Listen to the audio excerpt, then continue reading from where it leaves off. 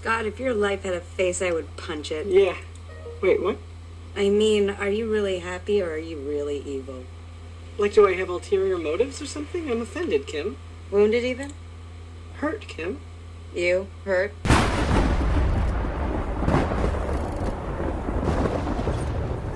me guess. You're from Texas or Utah, someplace dried out and barren, right? I heard about water witching before, but it doesn't make sense. I mean, it's just an ordinary branch. It's a dowsing rod. Ow! And I don't like being stalked. Cats. He's not really my cat. He's kind of feral. You know, wild.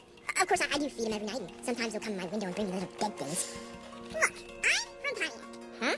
Michigan? And if I'm a water witch, then where's the secret well? You stomp too hard and you'll fall in it. Oh! See? It's supposed to be so deep. If you fell to the bottom and looked up, you see a sky full of stars in the middle of the day. Huh.